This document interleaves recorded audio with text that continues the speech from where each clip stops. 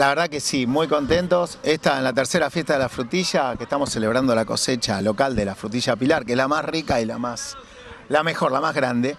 Así que bien, contentos, contentos porque viendo cómo crece esta celebración identitaria de Fátima, que atrae tanto turismo, tanta producción y tanta, tanto trabajo para los pilarenses.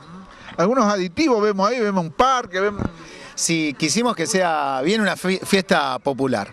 Así que ahora tenemos muchísima más gastronomía, tenemos entretenimiento para los chicos, tenemos, bueno, frutillas, eh, gastronomía, tenemos charla, artesanía.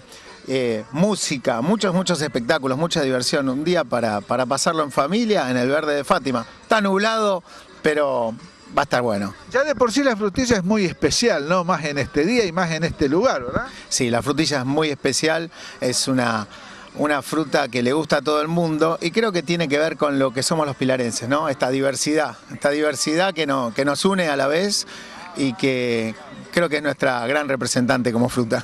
Y cada año que va pasando le van agregando algo más. Cada año más grande, mejor.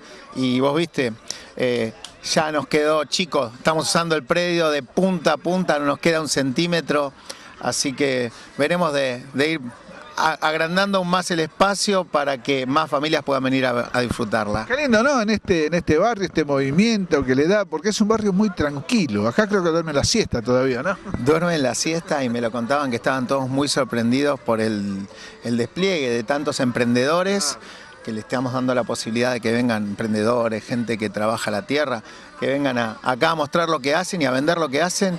Y lindo, lindo. Uno mira las mamás, los abuelos, los chicos, todos juntos disfrutando de esto, me parece genial.